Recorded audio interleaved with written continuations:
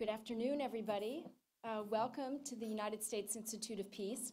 My name is Nancy Lindborg. I'm the president here. And uh, I'd like to thank everybody for joining us here in Washington, as well as those of you who are watching us on Facebook and on our live webcast.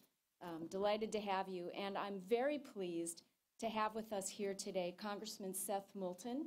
Um, he is representing the 6th, Dis 6th District of Massachusetts, and he's here today uh, to unveil his ideas uh, for a path forward in Iraq. Um, I'd also like to welcome colleagues from the State Department, the Iraqi Embassy, and the Kurdistan Regional Government. And we're delighted to have a, this conversation here today at USIP, which was founded 30 years ago by Congress as an independent national institute dedicated to the proposition that peace is possible, uh, that it's practical, we can make it happen, and that it is essential for our national security as well as international security. So we pursue this vision of a world without violent conflict by working in conflict zone, uh, zones like Iraq, where we have worked since 2003 uh, to help people build peace from the ground up as well as from the top down, and working with Iraqis to help equip them to bridge divides um, and to, to lay the groundwork for reconciliation. Um, and I would just briefly note that last year, the network of Iraqi facilitators with whom we've worked for a number of years brought together Iraqi tribal leaders in Tikrit um, to help prevent cycles of violence uh, in the wake of Daesh's massacre at Camp Speicher. And these dialogues resulted in a peace agreement between the tribal leaders that ultimately led to the eventual return of more than 300,000 Iraqis. So we know that peace is possible, sometimes at local levels, if not at a national level. So now, with all the eyes on the liberation of Mosul, uh, we've been preparing to complement uh, those efforts and doing so to build on our long work with Iraqi minorities. Um, so Congressman Moulton's comments come at a really critical time um, and even though he's only in his first congressional term, Congressman Seth Moulton has already emerged as a leading voice on Iraq policy on Capitol Hill. And this is in large part because as a four-time Marine uh, uh, tour and a winner of the Bronze Star, he has the experience of working alongside Iraqis uh, to ensure stability in the country, and he has that on-the-ground understanding of the complexities that one encounters. And I know uh, that, Congressman, you believe very much in the United States' role in the political future of Iraq. Um, I appreciate the Congressman's emphasis on the need for the political solution, especially the need for reconciliation between the tribes, the factions, and the ethnicities. Um, we're delighted to have him here today. Um, and uh, after the Congressman's comments, I'll rejoin him we'll have a dialogue and then open up for questions because I know many of you in the room um, have been involved for a long time in Iraq as well. So right now, please join me in welcoming Congressman Seth Moulton to talk about Iraq.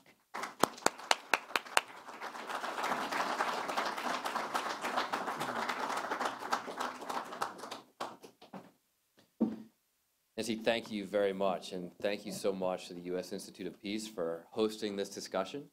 And thank you all for joining me here today. I see a lot of familiar faces in the room, and it means a lot to have you here. Thank you. It is an honor to be here among friends in an institution that is founded by Congress, dedicated to the idea that advancing peace around the world is possible and essential for U.S. security and global stability. Nowhere is that cause more important than in Iraq and Syria today, where civil war, the growth of ISIS, and the fracturing of existing governments have sparked a refugee crisis of proportions not seen since World War II and a dangerous terrorist safe haven that threatens us all. For the past two years, I have spoken about the need to defeat ISIS and prevent its potential successors from taking root. And I have been critical of the administration's current approach. The reality on the ground in Iraq today is that our brave young service members are combating ISIS by refighting battles we have already fought and won. Fallujah, Ramadi, and now Mosul, just to mention a few. We have yet to answer General Petraeus's prescient question from 2003 Tell me how this ends. Or its logical successor, How will this time be different? Make no mistake, ISIS is a national security threat to the United States and to our allies. The group has brutally killed Americans abroad, planned and inspired attacks here at home, and carried out overseas attacks on our allies.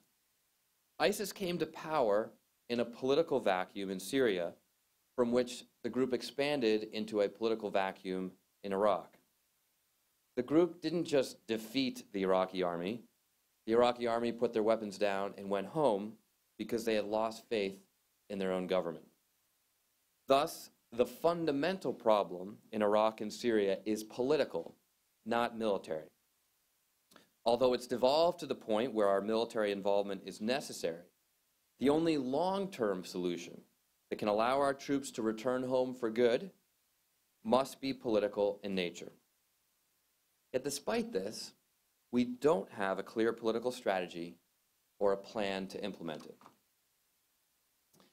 As a Marine infantry officer in Iraq during some of the most difficult periods of fighting, and later as I worked on the complex tasks of reconstruction and stabilization, I came to understand the importance of having a clearly defined strategy, both military and political, as a foundation for our work. Our military op operations must enable our political strategy, and the efforts and goals of both must be aligned. Today, from my seat on the House Armed Services Committee, I have heard hours of testimony from our military leaders and their respected advisors, reinforcing the fact that we do not have a serious political strategy in Iraq, a clearly defined endgame, or a convincing way to prevent the regression we have seen over the past five years from happening again. We need these things. Our troops deserve these things, and our diplomats do too. We must defeat ISIS, but we also must prevent its potential successors from growing down the road. It's notable that this is the same problem we created for ourselves during the 2003 invasion, when we infamously neglected to plan for phase four, or reconstruction and stabilization. We learned that lesson in time for the successful 2007-2008 surge in Iraq, when General Petraeus worked hand in hand with Ambassador Crocker and made it clear that the purpose of his military mission was to create a space for Iraqi politics to succeed. And Ambassador Crocker clearly outlined what that political success would look like.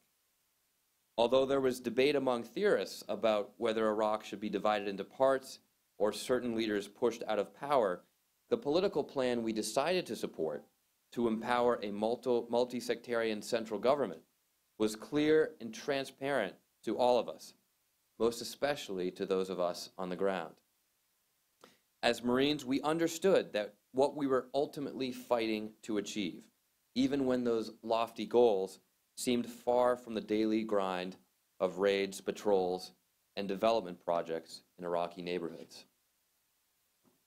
As the surge progressed and eventually ended, Ambassador Crocker and General Petraeus made it clear in their reporting to Congress and elsewhere that we had made tremendous military progress, in fact, had exceeded our expectations, but had not yet achieved all of our political goals.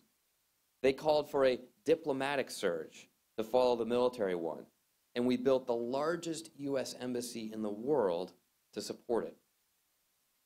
But then we left it barely half full.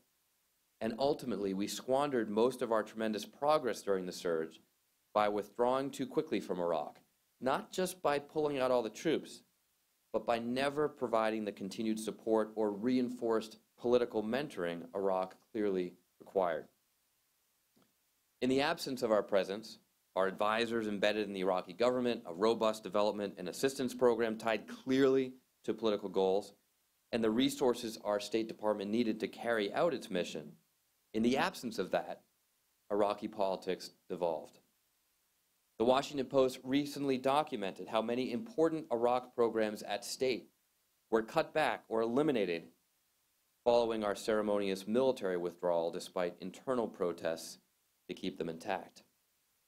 As a result, a terrible prime minister, Nouri al-Maliki, had free rein to advance his personal and sectarian agenda of marginalizing the Sunnis, consolidating power and enriching his friends, while gutting the leadership of the ministries and security forces. Many will rightly say that providing successful political mentoring is hard, and the U.S. has a history of influencing foreign governments that is uneven at best and downright tragic at worst. But today in Iraq, the alternative is worse, which is what we are doing now, sending thousands of American troops back less than five years after we left to clean up the mess.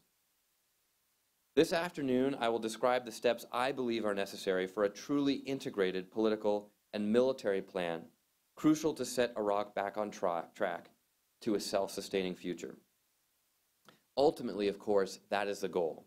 An Iraq that is a united and stable country with a democratically elected government operating under the rule of law, allied with our interests, and able to maintain its own security against both foreign and domestic enemies.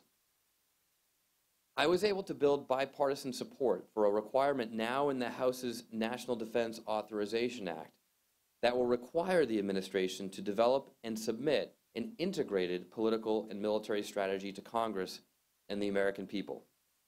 My hope is that these recommendations will help. Two more things should be set up front. First, to paraphrase General Petraeus, Iraq is not Las Vegas. What happens in the Middle East does not stay in the Middle East. Even as we deal with other national security threats around the globe and execute other strategies, including President Obama's pivot to Asia, we must remain engaged in the Middle East, as it will continue to be engaged with us, whether we like it or not. ISIS or other terrorist groups can't simply be contained.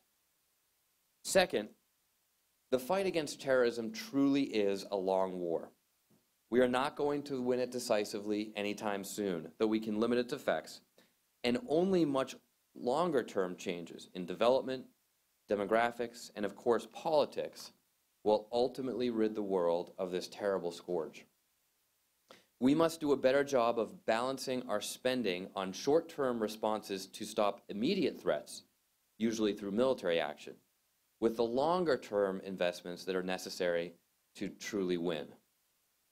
Although nobody likes to say this, there are indeed lessons to be learned from how we handled Europe and Japan following World War II, or South Korea following the Korean War some degree of enduring engagement, diplomatic, military, and through education and development, will be required to maintain the peace. We need to strike this balance correctly so that, as in these other three examples, our engagement is as peaceful as possible. Finally, while I acknowledge the Middle East is a complex, interconnected region with problems that aren't confined to national borders, a strategy must begin somewhere. Given America's experience in Iraq and the relative consensus among many experts on a path forward, I have decided to focus first on recommendations for how our Iraq policy needs to change. I hope this serves as a starting point for a new policy geared towards long-term success. So with that, let me now go into uh, the strategy that I have outlined. The strategy is comprised of four main steps. First, define our political, our, our desired political end state. Second, enable political reforms. Third, condition further military support on political progress. And fourth, provide authorization and funding for Iraq's future. So first, we must define our desired political end state. In the absence of a clear political strategy for Iraq, there is renewed debate around core issues like whether the country should be divided either in three or two, or whether this makeup of parliament should be changed, and what role militias should play in the security forces. This debate must end, at least for now, and we must set out a clear picture in concert with Iraqi leaders of what Iraq will look like going forward. If This is no different than what we envisioned during the surge that is fine, but we must make it clear that this is the vision America support, and everybody should know that, most of all our troops. For my tri- trips to Iraq over the past couple years, I don't think they do. So what does this mean? Legitimate, empowered governance. We must have Iraq's civil, civil authorities governing cities and towns, not militias beholden to one factor or another. And the reality on the ground in Iraq today is that many of the cities that have been liberated from ISIS are now simply under the control of militias. Functional federalism, greater political and budgetary authority divested to provinces and localities not vested in Baghdad. There are many experts who feel that at the local level, Iraqis are more willing to re reconcile than they are at the national level today. This is something that was always a goal uh, to be achieved through Parliament, but it has really not been achieved today.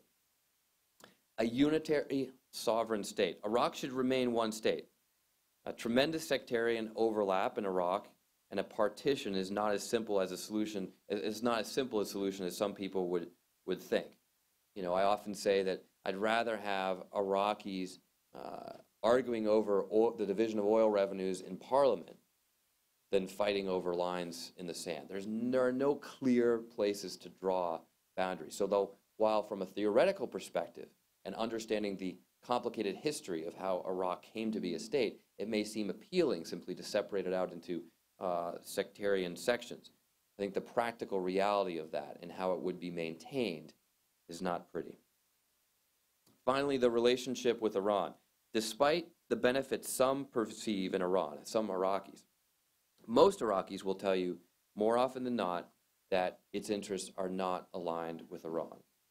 We must not permit Iraq to become an Iranian client state. And I think this is one of the things that a lot of Americans, a lot of Westerners just don't understand about Iraq. It's very tempting to look at Iraq, especially Shia South, and say, well, they must be aligned with the Shiites in Iran. My experience is that is absolutely not the case. And although Iran has done a remarkably good job of winning some Iraqi support, helping the fight against ISIS, uh, supporting economic development, to win some Iraqi friends, the underlying belief of Iraqis is that they do not want to be controlled by Iran, and many of them feel that they are today. Second, it is critical that we enable political reforms, and that verb is, is important, enable. Reforms must come from Iraqis to be seen as legitimate, but there is much we can do to encourage and influence their outcome. We did that successfully during the surge, and Iran does it in Iraq today. The good news is that we actually have a prime minister we like and support for a change in Prime Minister Abadi. Our agendas, our agendas are mostly aligned. We just need to support him in carrying out his reforms, while admittedly many other actors, to include Iran, are actively working to undermine him. So what can we do? We can counter the Iranian influence among Shia politicians. Iran curries favor and influence with Shia politicians through everything from threats to cash payments. We must work to counter this through our own covert efforts, State Department development and reconstruction efforts, and assisting and helping Iraqi pol politicians build coalitions. Second, strengthen the Sunni influence in parliament. Prime Minister Maliki worked hard to marginalize the Sunni presence in the Iraqi government and years later, Sunnis are still not effectively operating as a bloc, electorally or in parliament. State Department and NGO programs can work to improve this, but Baghdad must seize its men. Like, there's a lot that we can do just to help Sunni politicians understand how they can be more effective. Third, press Prime Minister Abadi to fulfill his promises to the Sunnis. The organized system of patronage and corruption the ruling Shia elite has constructed must be dismantled, and the judicial system must be reformed to treat Sunnis the same under the law. Next, press Parliament to fulfill its promises to the Sunnis. Simply put, de-Ba'athification legislation must be repealed, and the system, systemic disenfranchisement of Sunnis must end. We've got to expedite the long-stalled cross-sectarian National Guard in my visits, top commanders have stressed a National Guard must be established to fill the gaps between the Iraqi army and the local police. Such a force must be cross-sectarian and not solely loyal to one clique or party. Facilitate re- reconciliation with the Kurds. We've done this in the past. It's time to do it again. Tensions are high. And finally, counter the Iranian propaganda effort. By some estimates, 95% of Iraqi TV stations are controlled by Iran. That's not an environment under which we can enable any sort of reasonable reforms. Third step, we must condition further military support on political progress. Now, this is undoubtedly going to raise a lot of questions and be somewhat unpopular with some folks. Significant progress has been made against ISIS thus far, but more needs to be done militarily to ensure defeat. Iraq is dependent on our support today, but that dependence wanes with every military victory, and so does our leverage. It has been a mistake to provide so much military support to date without demanding any political reforms in return, and we must reverse this policy immediately. Although both Iraqi and American commanders are understandably anxious to conquer Mosul, the last remaining ISIS stronghold in Iraq, we don't have a plan for post conflict Mosul at this point anyway. So there are several reasons for slowing our advance. Conditioning further support on progress on the above goals is important to long term stability. Even more specific to American interests, there are two key goals the U.S. should achieve before Mosul falls. First, to sign a memorandum of understanding to legitimize the continued U.S. presence. This is tricky politically. The SOFA agreements, we're all familiar with how they ended. And the discussion about uh, you know, immunities and privileges is going nowhere. But we're not going to be able to follow through on this plan to ensure political progress in Iraq if we don't we can't put the issue of our presence aside. Now is the time to do it while we have the leverage to get that agreement done. Next, condition future arms sales on political progress. Again, we must use the support we provide through material and financing as leverage to ensure Iraq makes progress on the reforms I have described. And then finally, fourth, we must provide authorization and funding for Iraq's future. Congress should press the administration to enact these recommended changes to its Iraq strategy, but Congress also must fund and support them. Doing so is a wise investment in Iraq's future and in our own, in eventually reducing what we currently budget in dollars and lives to maintain Iraq's stability. Congress needs confidence in the strategy, and Congress must resource its execution. One of the side benefits of moving from a military led strategy to a long term diplomatic led strategy is that the latter will ultimately be less costly to American taxpayers. We need to renew the stalled and abandoned State Department programs.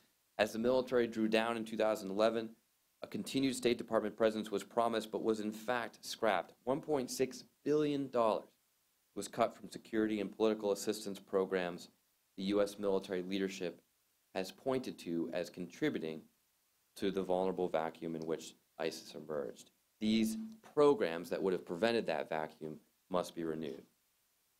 We must increase the number of diplomatic personnel. Just to give you some round numbers, in January 2013, the State Department had around 11,500 personnel in Baghdad. By 2014, half that, 5,500. And since then, less than 2,000 most of whom are security and support personnel, not actual diplomats. Now, numbers alone aren't enough. We must have the right leaders and resources, but we need to increase the number of diplomats and outposts to support these goals. Broaden diplomatic and intelligence authorities. The, Irani, the Iranian Revolutionary Guard Corps and their affiliated militias' reach is vast and highly detrimental. We need to empower our intelligence professionals to counter them. And finally, the Secretary of State should focus on Iraq in the same way that Secretary Kerry so brilliantly focused on Afghanistan to put together unity government. That kind of diplomatic attention will signal to Iraq and to its allies and its enemies the seriousness of our approach. So, in sum, these four steps with their component reforms, defining our political end state, and agreeing on it, enabling political reforms, conditioning further military support on political progress, and providing authorization and funding for Iraq's future are vital to Iraq's success. Now, what I have proposed here is not easy. Put another way, it's really hard. Many of us will hear this and again wish we had never gone into Iraq in the first place. For some, it is tempting to say that because the invasion was a mistake, we should try to leave again and never come back. But frankly, we have tried that, and it's what has delivered us to where we are today. I believe that the plan I've presented, while difficult, time consuming, and not without risk, is the best option we have. And ultimately, it will be less difficult, less time consuming, and less risky, and importantly, less costly than any other option before us today, including our present course. Now, confident that there will be many, I would be delighted to take your questions.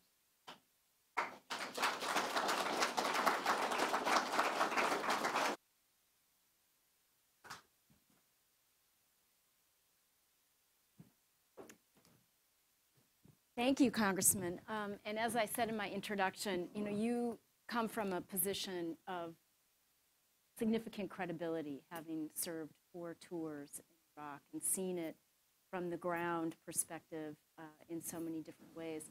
And you lay out a very compelling vision. Um, I know that uh, many of us have been concerned uh, that there be a, a, more complete strategic framework going forward.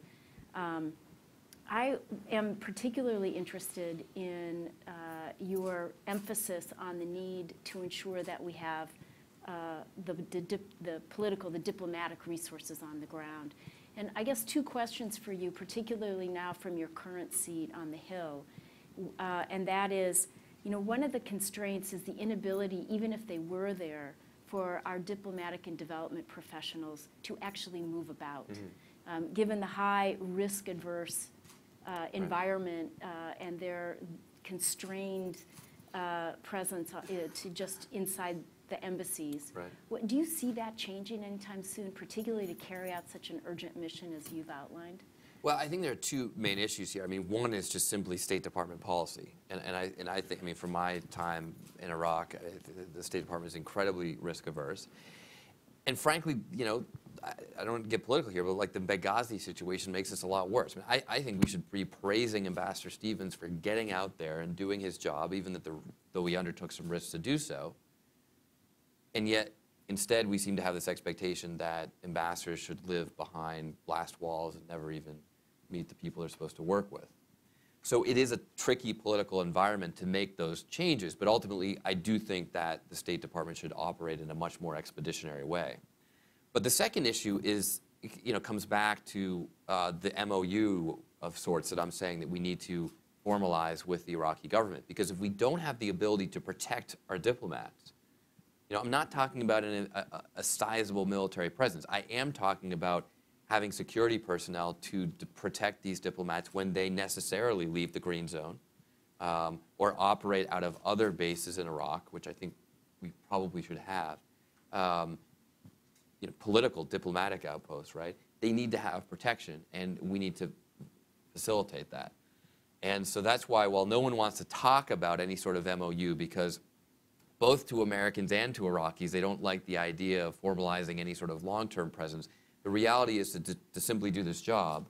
It's necessary, and it's much better to negotiate it now and take it off the table for the future than to have to constantly face this issue every time they need a little bit more help. And if I may, before we open it up, one more question for you, and that is, um, uh, you know, you talk about the need for a political or an integrated political military strategy so we don't have to keep returning the troops. We are, by all accounts, on the eve of moving into Mosul. Um, what do you think would still be possible or what is necessary uh, to accompany th that military uh, push to ensure that we don't just leave it to the possibility of renewed cycles of conflict? Well, I was last in Iraq in uh, July, and you know the, the basic question is, hey, how are things going for the day after? What is the plan? What is the American plan? What is the Iraqi plan for the day after? It sounds like that. That's, that's, that's the answer. So that's a real concern. So everybody is anxious to get going on Mosul. Everyone greets it as positive news, wonderful news, that, that we might actually be ahead of timeline with going in. I actually think it's bad news. I think that we've got to use the remaining leverage we have to get some political progress. And at the same time, or in the meantime, let's figure out what we are going to do the day after we win over the city. If you look at the cities that have been won over, Ramadi, Fallujah, name a couple, uh, and look carefully at how those cities are being, you know, governed today, it's not an encouraging picture. You know, one of the fundamental questions that we should be asking is, are the Sunnis who live in Ramadi and Fallujah, again, just to pick two cities that are sort of prominent in American imagination, are, are they happier with the Iraqi government now that the Iraqi government has returned and ISIS has been kicked out? Because if we're, if we're doing, if we have any chance of long-term success, we've got to see their support for the government go way up. Because ultimately, we're all saying that, hey, everyone's happy that we're liberated from ISIS. But the thing that got us to having ISIS in those towns in the first place is the fact that people were so upset with the Iraqi government that many of them welcomed ISIS in. Mm-hmm. I have yet to see any evidence that Sunni popular opinion of the Iraqi government has improved. So they may be thrilled to get rid of ISIS, they may be thrilled to have ISIS gone. But if fundamentally we're not building any trust with legitimate Iraqi authorities, then, then we're just back where we started. And of course, we have the additional complexity of, of a multifaceted minority population in the Mosul Oh, absolutely. Mo- Mosul Oh, is really 10 times more complicated. Right. 10 times more complicated. And, uh, you know, and that it should be a strength of Mosul that it's multi-ethnic, multi-sectarian. I mean, you know, if you can make a government work in, in Mosul, it sort of almost by, you know, by default has to uh, uh, encompass minority views. But the reality is that for that immediate post-conflict planning that has to take place, it's, it's complicated. It's hard. What, one of the things that I heard on my last trip to Iraq is, you know, the Iranians play the long game. You Americans don't. And so, how do you see building the kind of consensus that we need to enable that kind of sustained engagement? We know this is not going to be done like this. Right. No, look, it is very unpopular to, to, to do what I'm doing right now, to be an American politician saying we should have a sustained engagement in a place like Iraq, because all of us just want to come home. Whether you're someone that supported the war or you're someone that was adamantly against it. I mean, pretty much everyone just says, let's get out of there. So the reality, though, is that the alternative, which is we go back every five years to clean up the same mess, is worse, putting our troops in danger again. We now have upwards of 5,000 troops in Iraq under the president who campaigned on a promise to pull us out. So President Obama has tried this. Mm-hmm. And there's been no one politically more committed to getting us out of Iraq than President Obama. He was elected largely on that platform. But under Obama himself, we've had to go back in. So my biggest fear is that we just get in this endless cycle of going back, refighting the same battles, put, putting more young Americans at risk for the same things that we already risked lives for in the past. I think that framing it that way to the American public is what's necessary. And I can tell you, just as a uh, representative, when I go and talk to my constituency in Massachusetts, you know, not the bastion of conservative Trumpdom in America, there are a lot of people who say, when are we going to get out? You know, some people who say, "Set Afghanistan, for example, Afghanistan's our longest war. When are we going to get the troops home? I say, look, we can bring them home tomorrow. But if we do that, be prepared to send them back five years from now, because that's exactly what we did in Iraq. And I'll tell you what, when you say that, there are a lot of reluctant nodding heads in the room. They don't like it. I wish we could come up with a better solution, a better answer. But it's preferable to have a long-term diplomatic presence so we can actually make this work than having to keep sending the troops back. Um, I want to open it up for questions. I know there are a lot of people here who have deep engagement with Iraq, uh, and we have mics coming around. Thank you very much, Congressman. Alexander Kravitz from Inside Iraq. I, um, I, I have to say that in this current environment of, you know, almost non-dialogue and polarization, it's frankly like a breath of fresh air to listen to a member of Congress with really thoughtful and knowledgeable proposals. And I think even if I disagreed with you on some ideas, I would say like this is really like a breath of fresh air. As it is, I don't disagree. I think you're absolutely spot on. So I was thinking, you know, what uh, uh, what what could one maybe add or ask, and uh, to to pick up on um, uh, uh, Nancy Lindborg asked some of the questions I wanted to ask, but what about something that might sound pie in the sky? What about helping to secure visas to Iraqis? I don't mean refugee visas. I don't mean uh, you know political uh, SIV visas, but just tourism visas. I've been surprised in my conversations with Iraqis, you know, the desire to come and visit. I mean, to just see the U.S. And one doesn't really think, you know, with the whole security thing about, you know, Iraqi tourists coming to America. But what would you think of perhaps an initiative like that? Well, I, I- I'm not sure. I mean, it may be a it may be a good idea. I'm not sure it gets just to the sort of heart of the problem in, in, in Iraq today that we have to uh, that we have to address. Uh, I'm a big supporter of the SIV legislation. Uh, I uh, led the amendment in the House to keep um, the SIV program alive in the uh, defense bill uh, for for our Afghan translators. Um, was actually just talking to Senator McCain about this last week. He's a Republican who's leading the effort along with uh, Jeanne Shaheen in the Senate to keep it in. Um, so I understand the importance of, of, of these programs and whatnot, and, and as you mentioned, there's value in tourism as well. Uh, but I'm not sure that's sort of the, the, the heart of the issue. I mean, ultimately, we have to make sure uh, that Iraqis feel confident in their own government and that they want to stay and happily live in Iraq. Thank you. So we have a whole extra overflow room um, that, uh, of people who are listening. So I want to make sure Thank that you. their questions uh, get asked. And so let me ask both of these to you, and you can Okay. take them both at once. The first is, how do we enforce conditions on military support and arms sales, as you suggest, without pushing Iraq towards Iran or other countries that would provide that support without condition? And then secondly is what kind of integration or expectation of allied forces would you see in implementing your four-part plan? Okay. Uh, so the Two first question. excellent questions. Uh, you know, the, the answer to the first question, frankly, is it's, it's hard. I mean, you have to strike the, the, the, the right balance. You have to be savvy diplomats here. Uh, I, you know, Iraqis prefer American material, American, um, I mean, everyone knows that we have the best weapons and equipment. Uh, Iraqis, from personal experience, strongly prefer that. Um, so there is a preference there that we can, uh, that we can leverage. But if we just go in and say, okay, we're shutting off all supplies, you know, that's not smart either. So we have to be able to find, you know, to, to work a balance here. Uh, but, it's, but it's doable. And uh, General Petraeus and Ambassador Crocker did it during the surge.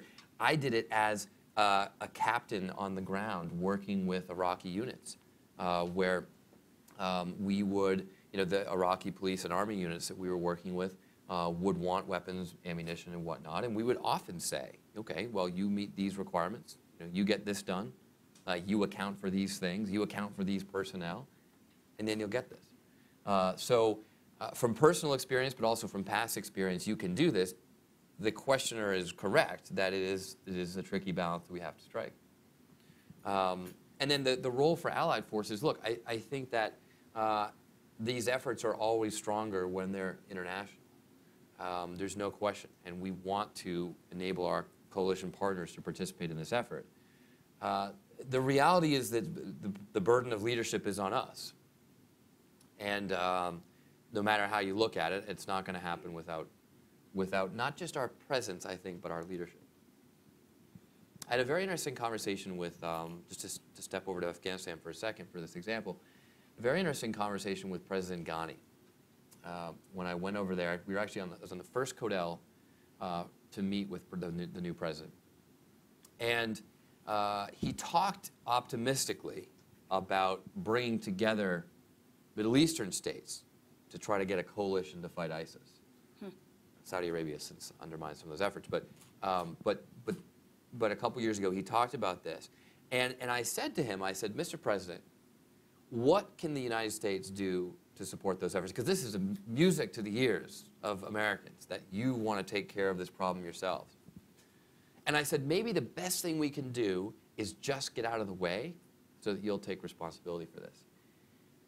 And his answer was interesting. He said, absolutely not. He said, even if it's just getting the right people at the table in the right room, the Middle East is counting on America's leadership.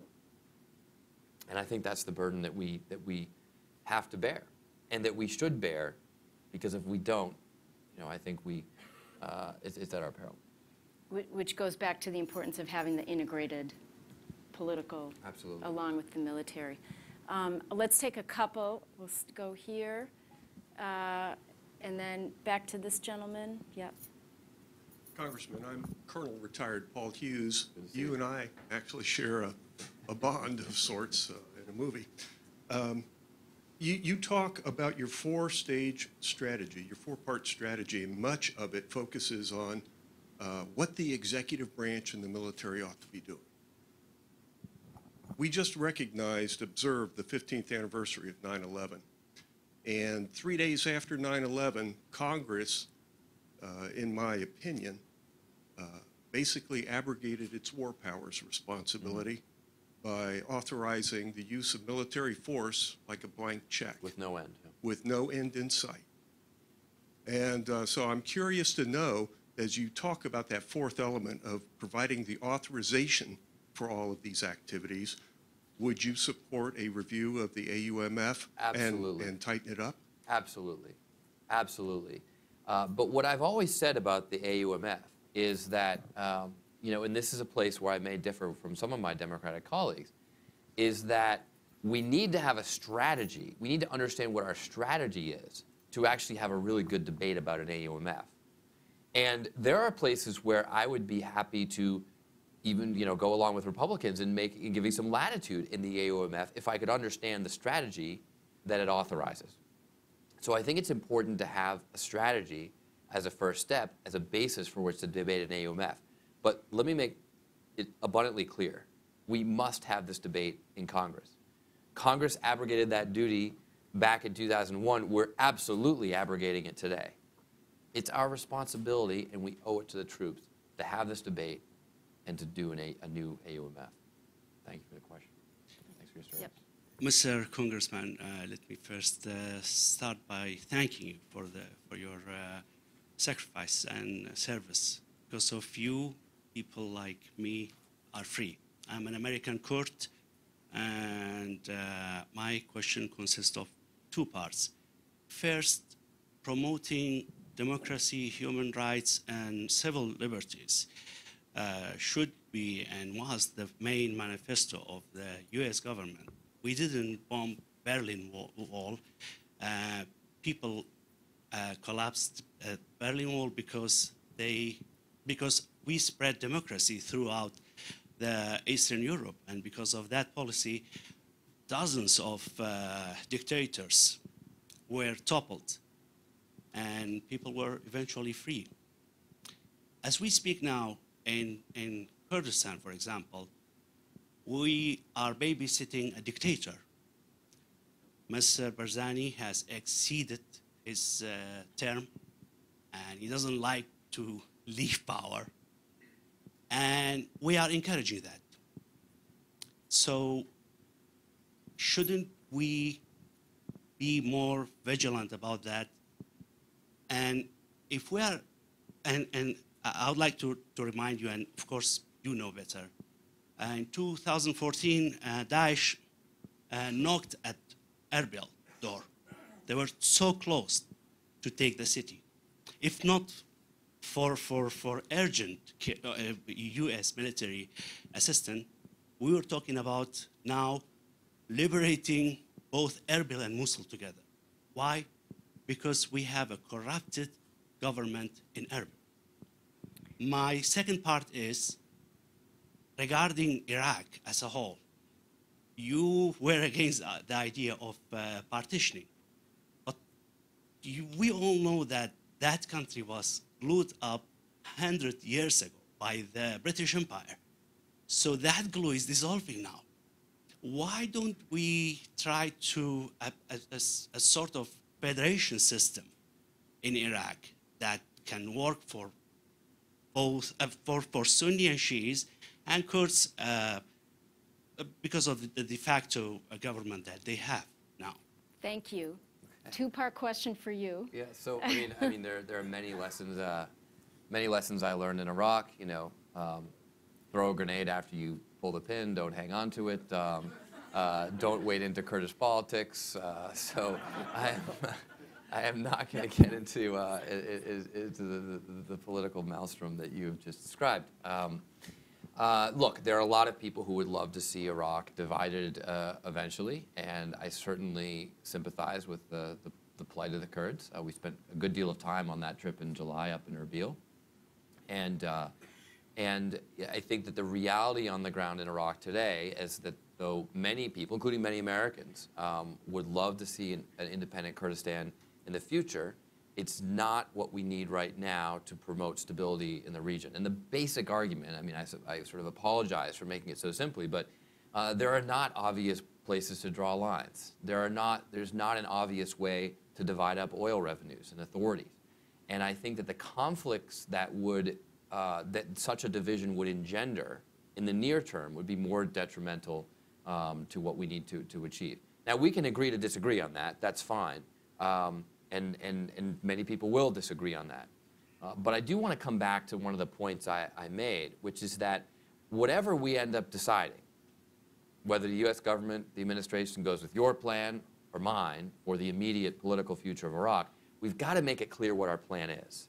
We've got to make sure that everybody understands what that plan is, from our generals to our frontline PFCs, and of course, including all of our diplomats. And right now, when I go around and ask people, you know, where is this going? What is the end game? What is the political future of Iraq? I, I, there doesn't even seem to be real agreement, and I think that's that's that's something that's got to be very much a, a part of this part of this plan. But thank you for your question. So the the clarity, yes. Hi, Congressman. Uh, Hey, how are you? Good, I'm good. Uh, I, I have a, a a question. You point out in your second point uh, that we have an ally in Prime Minister Abadi, but we haven't always, and you, as you correctly point out, even he, he faces uh, forces that undermine him. Absent an ally moving forward, how does this second step uh, work and, and how does it sustain? And also, very quickly, since this can't be implemented in the final months of the Obama administration, have you spoken to anybody in either the Clinton or Trump uh, campaigns and uh, presented this plan to them? Uh, just quickly, the, the, the, latter part first. I've, um, I've talked in, in general terms with some, uh, with some folks in the, uh, uh, on the Clinton team. Um, I, I don't know many foreign, I don't know any foreign policy professionals that are with Trump at the moment, but, um, but were that to happen in the future, then, then I suppose I could have that conversation. Um, but, uh, but really, this is the first time I'm presenting, presenting it to you, um, to you first. Your point about Prime Minister Abadi is very well taken. Um, Prime Minister Maliki believed the wrong things, said the wrong things, and did the wrong things. Prime Minister Abadi believes the right things. He says the right things. He just needs help actually doing the right things. He doesn't have the political constituency, or in some places, you know, just simply the political deafness to get things done. But we have a great opportunity in having a partner that's so well aligned with interests that, in my judgment, are not just in our interests, but in the interests of his own country. Uh, whereas Maliki's interests were in his own interests. I don't think it'd be very hard for anyone to argue, given where we are today, that Maliki's interests were aligned with, the, with, with Iraq's interests. So we've got to capitalize on that, um, and I think that we can do an awful lot more to support the Prime Minister. Great. Uh, Lieutenant Colonel Powers, this is our Marine Fellow here at USIP. Wonderful. Congressman, thank you for your uh, comments. And so as I was listening, and I heard a lot about how difficult this is at the end, and obviously as a, as a military person, uh, it's easy to tell my military friends that we want to do this, we need to stick with it, we need to go there. Um, I have a lot more difficulty speaking to other family and friends that aren't in the military. What can, what can we do? What can I do personally uh, to convince people of the commitment and, and uh, let them know why it's important that we as a, as a nation commit to? You know, in many ways, that's a that's a political question. I mean, how do you message this? How do you help people understand why this is important, even if we can agree on it here? And uh, you're talking to someone who's very new to politics. I've never been involved in politics before this this this present job, so I'm probably not the best expert to give you an answer. But I can certainly speak from my own experience, and I just come back to, you know, how I talk about this in my district when I go back home, which is to say that I understand this is difficult. I understand we don't want a long-term commitment. I even understand that we probably shouldn't have gone to Iraq in the first place. But given the options we have on the table, this continual rotation of sending troops back every five years to refight these battles is a far worse option. So uh, that's what I that's what I would try with your with your friends.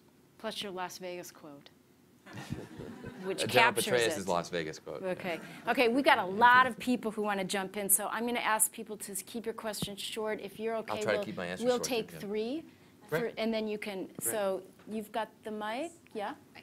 Um, Congressman, I applaud what you're saying. I really am so delighted to hear about what you are raising in Congress, and I wish you the the best with it. Um, Having spent an entire career in the World Bank, I was there this morning, of course, I was talking about Iraq, uh, uh, most, mainly Iraq. And, um, and I would suggest, this is not my question, I would suggest that if you haven't touched base with what the World Bankers are doing now, Okay. please do, because they're very active, and they're very much, I think they would welcome hearing from you. That's a great suggestion. Thank you. Um, Now, my question arises from having spent a career in the bank, uh, where we really were very much impressed by the fact that, you know, in this case, the Iraqis are the ones that are going to have to really work to save their own country. I agree that we need to have a leadership role, but they do need to step forward, and they are the ones that Yeah. have to take the, the So I'm going to ask you to get focused on your question. So my question is, um, you mentioned the importance of education and development just slightly and in passing. And I would say, I, for the last 10 years, I have been heading an Iraqi Women's Fellowship Foundation in Engineering and Applied Sciences. And it's really important. All those Iraqi women come to the United States for one year. They learn not only about their, get to the top Yeah. of their professions, but they learn about democracy, they learn about interaction, and they all go back. And I think this is really critical, but now the State Department and many others have stepped away from these kinds of programs. No, No, you're right. And look, I didn't get into the details, but $1.6 billion of security and development assistance that we have, uh, that we have cut back, we've got to restore those programs. I wholeheartedly agree. Thank Okay, you. go ahead and then pass it to the young woman ahead of you. Sure, Yeah. thank you. Uh, Thank you for uh, your plan and what you uh, give us really a fresh breath. One of them said, uh, your plan did not include anything about corruption in Iraq, which became rampant. As we all watched last week, uh, the Ministry of Finance announced that one person has transferred $5.6 billion So let me, out of Iraq. So the point I'm trying to emphasize, the ring of corruption inside the Iraqi government is so strong that it has uh, surrounded Abadi, and Abadi is not free to make decisions. And I'm talking, I'm saying this as I walked inside the Iraqi government. Sure, I think it's a, I think it's a fair uh, point, and much like the previous question, uh, you're absolutely right. I mean, that this is one of the uh, details, but an incredibly important fundamental detail that, that absolutely should be carried out. Uh, so, so you may be right that I should have emphasized that a bit more. Let me make it clear. I agree with you. This is something that needs to be addressed, and, and it would be addressed under many of the State Department programs we're talking about reauthorizing. Thank you. Uh, Congressman, thank you so much, first of all. And so I just wanted to ask uh, you mentioned that the Middle East is a very interconnected region, and I wanted to know what you thought the uh, effects of this policy and these plans that you've laid forth would have on our Syria policy, because that seems to be another area where we need to know what the plan is. So, would this plan help us in knowing what the plan is in Syria, and what effects do you think it would have? So Thank first of all, thank you. You always appreciate a softball about Syria, you know? Yeah, Um, with, with, with three Easy to- minutes easy to left. answer. Yeah. Um, uh, Look, a- a- as I said, we've got to start somewhere, and that's why I chose to focus on Iraq. There's no question that Iraq and Syria are interconnected in certain ways. Um, Although I do think the the national boundaries mean something. We may not like them, we may not like how they were established. The reality is they do mean something on the ground today. Um, I'm not going to spend the next three hours getting into what I think might or might not happen in Syria, but I'll say this, that the principle, the principle that, that kind of fundamentally brings me here today is the same, which is that we've got to have a political plan, not just a military plan. And if you talk to, again, the troops that are on the ground in Syria today, and you ask them, where is this going politically? What is the long-term goal? Fundamentally, what is, what are you fighting to achieve? What is Syria going to look like in five years? I don't think anybody can tell you. And that should be concerning for all of us, especially because we're asking people to put their lives on the line for something that we can't even define. So in the same way, we've got to talk about what is the political plan, the political end game that ultimately our military mission in Syria should be supporting. So final question way in the back. Hi, Thank you, Congressman, for sharing your insights and your recommendations. Uh, you talked a lot about Iran for obvious reasons. I wanted to know if, uh, in your experience, from your experiences, you have any insights on um, what role the U.S.-Turkey relationship plays uh, going forward in terms of uh, this God, we're strategy you've easier laid and easier. Like doing the Yeah. whole region. Save the best for last. Yeah. Thank you. Look, so again, I mean, I, I literally don't have to, and I, and I have Yeah. to apologize, by the way. I would love, this is a fascinating conversation for me. I mean, I don't know if it's fascinating for you, but uh, certainly for me. Um, I'm learning so much from the questions and everything. I have to vote, and that's why I have to rush back to, uh, to Capitol Hill. Um, but I would say, much like I said about Syria, I mean, this is something, Turkey absolutely has an interconnected relationship with what happens in the Middle East and specifically what happens in, in Iraq, and we've got to be, uh, we've got to be thoughtful about our, our Turkey policy. What I tried to do today is just really focus internally on uh, what I think uh, needs to happen vis-a-vis the American relationship with Iraq. Um, Congressman, we launched here yesterday uh, a, a study on U.S. global leadership in fragile states, on fragility. And a lot of what you've recommended today closely aligns with the importance of having a strategic, a sustained, a systemic, where you've got the pieces working together, approach to these challenges. And so um, I thank you very much for the, the passion and the, and the dedication that you're bringing to this issue. Um, we'd like to invite you back to continue the conversation. I think there's a lot of appetite um, and appreciation for the fact that you're really ta- tackling what is a tough set of issues. Um, and uh, please, if you'd like to make any closing comments, and we'd No, love I- to have you back. Look, I just want to thank you all for coming and to the folks in the, I didn't even know there was an overflow room. This is, it's wonderful. It's, it's so important that we are engaged in this tricky issue. It's an issue that a lot of Americans want to push out of our, push out of our minds, don't want to talk about. And yet it is fundamentally important to, to millions of people, literally in the Middle East, but to millions of Americans here at home as well. Um, but I'll just end by saying this. You know, at the end of the day, uh, I wouldn't be here in Congress uh, if not for my service in the Marines. I did four tours all in Iraq. Um, it, uh, Iraq in 2003 was the most hopeful, optimistic, and excited place I'd ever seen on earth. And it's tremendously sad just on a personal level to see uh, where it is today. But my real motivation for doing this more than anything else is because I think we owe it to our troops.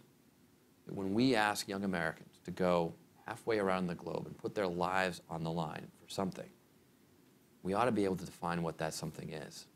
We ought to be able to give them a plan to succeed, and we ought to be able to resource them so that they can come home. So I hope we can work on that together. Thank you.